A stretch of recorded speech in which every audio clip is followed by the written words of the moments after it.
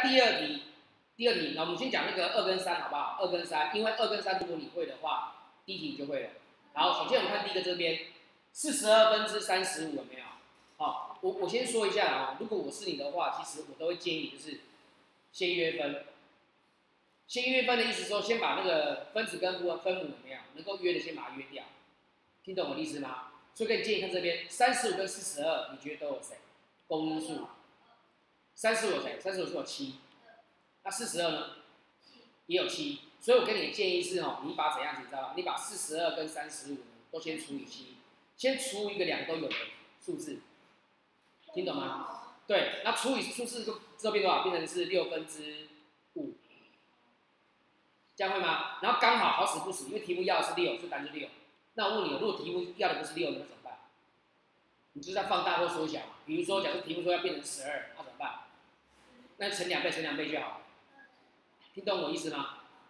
会了哈，OK。好，那我们看第三题，一又九十分之三十，你会怎么办？你知道吗？我会建议你是，你先把三十跟九十干嘛？先约分。好，你觉得三十跟九十的那个公因数会有谁？三，有没有再大一点点的？但三可以哦，三可以哦。六，还不是更大一点的？十二，十二不行。十五，十五可以，再大一点。来，你不会再写好了。来，九十跟三十，我做一下。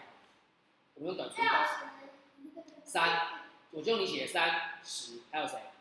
六，五吧。然后六，二，再来二三一，好，很明显的，很最大公因数多少？最大公因数。三乘以五乘以二，那是多少？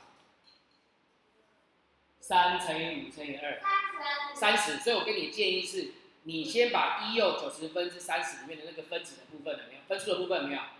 先除三十，所以它变多少？它变成是一又三分之一，会吗？然后一又三分之一再换成谁？再换成假分数等于三分之四，看懂吗？换成三分之四之后，来注意听。再按照题目说的，题目说希望什么东西？他说希望分母是多少？六。好，那讲三能变成六的，乘以二，所以上面乘以二，所以答案就六分之八。